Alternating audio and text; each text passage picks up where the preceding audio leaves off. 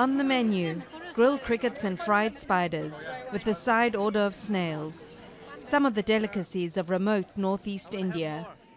This is snail collected from the paddy field. You have to eat like this.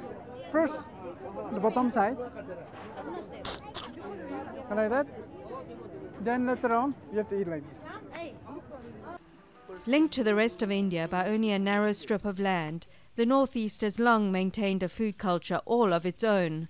This village of 200 residents in Meghalaya has resumed cultivating local millet, which was at risk of dying out as people opted for state subsidized rice.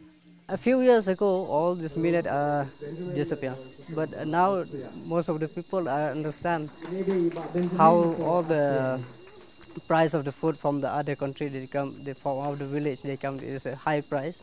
So they realize to cultivate it again. This fair supported by the global slow food movement is designed to promote the region's culinary heritage.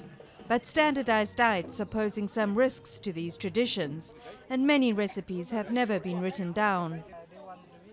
Why the production is uh, difficult? Because uh, the the knowledge of how these uh, snacks are made are just being passed through by mouth verbally from mother from grandmother to mother to mother to child that's the thing Without efforts to preserve them, there are fears that century old ways might disappear, putting the villagers of Nongtraw on the front line of the battle to preserve regional food varieties.